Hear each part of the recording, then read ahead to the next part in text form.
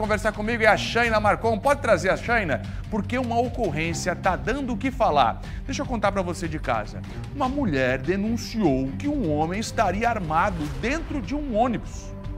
Aí foi aquela correria, as viaturas chegaram interceptado para o ônibus, para o ônibus a polícia teve que parar o busão do transporte coletivo.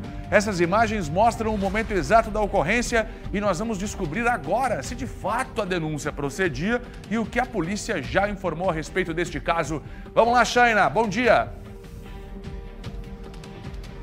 Oi, Fernando, bom dia para você, bom dia a todos. Pois é, essa ocorrência movimentou, mobilizou a Polícia Militar ontem à tarde aqui no centro de Lages, quando uma denúncia, né, de uma mulher dizendo que um homem estaria supostamente ameaçando com uma arma de fogo dentro de um, um ônibus é, do transporte coletivo, dentro do terminal, né? Ela estava dentro do terminal aqui de Lages e ela disse para os policiais, né, que esse homem teria entrado dentro de um ônibus armado.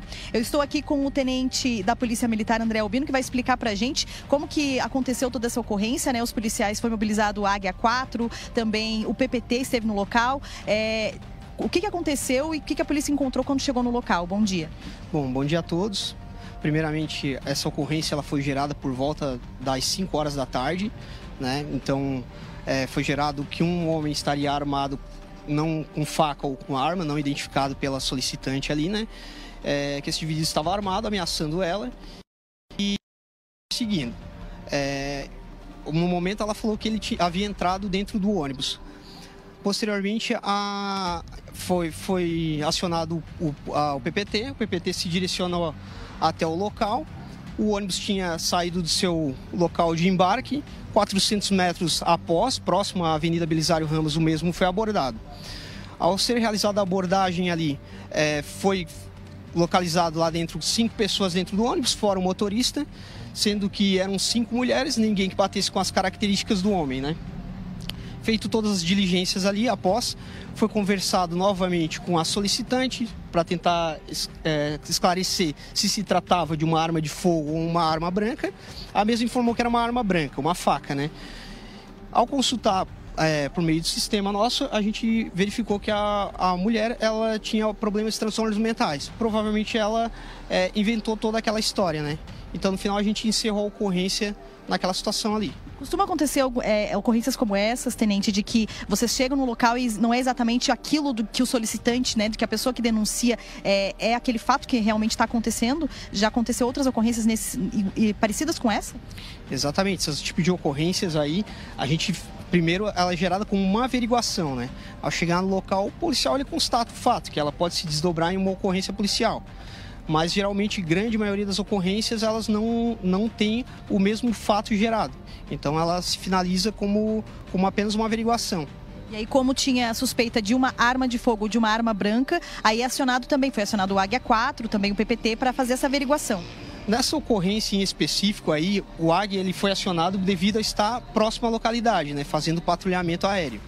É, como eles copiaram essa, essa ocorrência no, no rádio da Polícia Militar, que o nosso rádio é o único, né?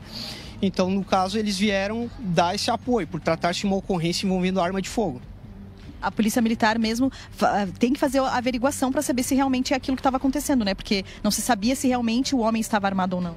Exatamente. A ocorrência, é, até a gente solucionar para ver se não é uma ocorrência envolvendo realmente arma de fogo, a gente tenta verificar todas as possibilidades, né? Abordar, consultar e no fim restou que era apenas uma ocorrência fake, né? Não teve nada que, que constatasse realmente que se tratava de uma ocorrência com arma de fogo e nem, inclusive, o, o, o autor do fato se encontrava no local. Tenente, muito obrigada pelas informações. Então tá aí a Polícia Militar esclarecendo então essa ocorrência que mobilizou né, a Polícia Militar ontem à tarde. Também assustou os moradores aqui, porque a Polícia Militar interceptou o ônibus é, quando, quando, ele estava no seu caminho, né? E aí, então, é, foi constatado pela Polícia Militar que realmente é, se tratava de uma ocorrência que não, né, não estava, o homem não estava no local, não foi encontrado e que essa pessoa que denunciou, ela teria problemas mentais.